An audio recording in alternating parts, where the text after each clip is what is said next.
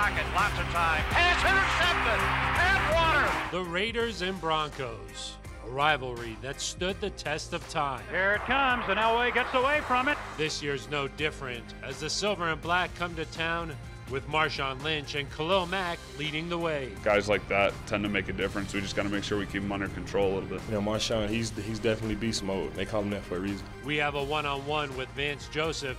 Plus, Steve Atwater has his keys to the game. This is a must-win for both of us. You know, this is going to be a, a good challenge for us. It's going to be fun. It's an AFC West showdown. The Broncos TV pregame show starts right now.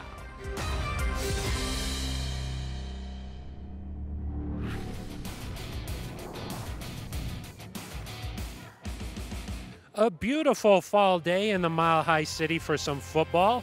Both the Broncos and Raiders are looking to bounce back after losses from a week ago. And even though it's early in the season, there's a lot riding on this one in terms of the AFC West standings. Hello, and thank you for joining us for the Broncos TV pregame show brought to you by Microsoft. I'm Phil Milani. We have a great show, show in store for you, but first, some, stat, some sad news from earlier this week as former Broncos head coach Red Miller passed away at the age of 89. Miller was elected to the Broncos Ring of Fame earlier this year in May, this being the 40th anniversary of the 1977 Super Bowl season. During his four seasons, Miller delivered the first division title, first playoff berth, and of course, first Super Bowl appearance in franchise history. And now with me, Broncos legend Billy Thompson. Of course, you played with Miller. What kind of man was was Red? Red was a great man. He was a great coach. Uh, a lot of enthusiasm, uh, and I think he came in uh, the year that we needed exactly that, and um, he pushed us all the way across the line we've heard some stories about Red that, you know, when he talked and he told stories, everybody would listen. What was he like to play for? He was an amazing guy. I mean, he only asked for your best.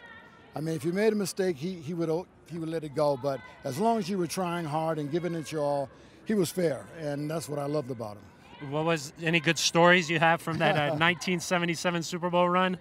Well, probably I couldn't tell here, but uh, but no, he he hated the Raiders.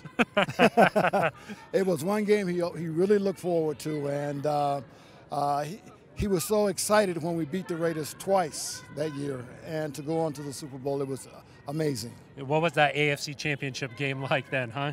It was incredible. it was the first time the Broncos had ever done anything, and being a part of that for me was just unbelievable. What was your relationship like with uh, Red these past few years here? Well, you know, Red has already, he's been a, a, a coach, he's been a mentor to me. Uh, I knew he was sick, and so I just tried to keep an eye on him and see how he was doing, but uh, just incredible individual. Well, thank you very much, Billy, for joining us to talk about Red. Uh, Miller's family has asked that in lieu of flowers, that people send donations to his alma mater. That's Western Illinois. So uh, instead of flowers, send uh, some donations to his alma mater there. Now we turn back to football. Let's check in with the guys as they made their way into the stadium. Man, hey, big, big day, big game. You know, I used to be a Raider. We got to go out there and tear them up. You know, hey, ground and pound. That's all that matters today. Hey, I don't got nothing much, man. Division game at home, must win. Ready to go play ball, man. Division game. Got to win at home. Take care of business, man. You, you got to get this stuff. Beat the Raiders. I'm always ready for the Raiders. Division game, you got to be ready. It's good to be back home. Uh, divisional game back in uh, Mile High, so excited to be here. The guys are ready for a big game here today. The Broncos have won 9 of 11 against the Raiders, and of course, that's across a span where the Broncos won five consecutive AFC West titles. For more, let's check in with Matt Boyer, who's one on one with head coach Vance Joseph. Coach, you get an Oakland Raiders opponent with some balance, some big weapons on both sides of the ball. When you get an opponent like that, what do you try and stress to the guys in the in the week leading up? Offensively, um, this is probably the best five skill guys that we faced all year. You know, and what you stress is details, because obviously. Um, our our game plan is going to help us take care of those weapons, along with our individual play. So, what you stress is details and focus when you get the Raiders week like the one that we've we have coming up. It's a divisional opponent, you said, but it's also a home divisional game, so it's it's it's worth a lot. When you see something like that on the schedule, does it kind of do you see an intensified focus from your guys? Do you do you see kind of the, the level move up a little bit? Yes, it you know it should be because it counts for two for us. It's it's a divisional game, also a home game. So absolutely, the, the intensity, the focus should go up. Coach, best of luck. Thank you. Thank you very much, Matt. And joining us now is Broncos senior reporter Andrew Mason with his matchup of the game. And I have a feeling it has to do with the reigning NFL Defensive Player of the Year. Yeah, you have to start there. And if you've watched the Broncos Raiders games the last few years, you know what Khalil Mack has done and you know what kind of havoc he can wreak. He's had seven sacks against the Broncos over the course of his career. Of course, those seven sacks all came in two games, both Raiders wins. So when Khalil Mack doesn't have a sack against the Broncos, Denver's 4 0. When he has at least one sack, and he had two sacks against them in a game last year in Oakland and five sacks back in December 2015 here in Denver, the Broncos are 0 2. So there you go. Keep Khalil Mack out of Trevor Siemian's face, and you've got a good chance of winning. Uh, I think Brock Osweiler probably told Trevor Siemian about that second half where Mack had five sacks mm-hmm. against the Broncos.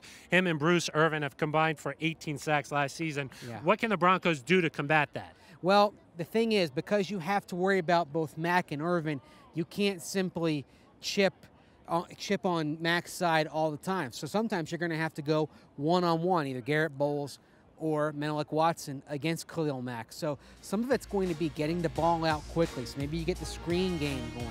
You know, maybe it's you know quick interior targets. Maybe you get the tight ends involved, uh, like you did back in, in week one. Uh, maybe Bennie Fowler as an inside target gets uh, some opportunities. So there are things you can do, getting the ball out fast, and also the running game. Get that going as well. There are things you can do to counter Khalil Mack, but certainly a very tough player to deal with today for the Broncos yeah. and any team that faces him. And that's some of the things we saw the Washington Redskins do a week ago and had a lot of success there. Mm-hmm. Trevor Siemian sacked nine times through the first three games of the season. Mace, thank you very much for joining us. You can find Mace on Orange and Blue 760 Monday through Friday for First and 10 at 10. That's 10 to noon every weekday. Also at Mace Denver on Twitter or on DenverBroncos.com, even on the Broncos YouTube page. Be sure to check that out. Now, let's hear from the men tasked with slowing down the Raiders pass rush. You know where he is every time you break the huddle. You know, you, you're not going to miss him. He's, he's not going to sneak up on you. You know, 52 is on the right side, he's on the left side. You know um, where he's going to be, and you know he'll get a lot of attention. You always look out there and where's 52? Okay, you know what do we need to do, and um, are we helping him? Is he single blocked? Uh, there's certain progressions you have to do, and uh, you got to have a good mix, you know, so he never knows what's coming. The Broncos have a pretty good pass rusher of their own with two and a half sacks today. Von Miller would tie Karl Mecklenburg for second, uh, second most in franchise history. Let's once again check in with Matt Boyer, who's standing by in the Broncos locker room.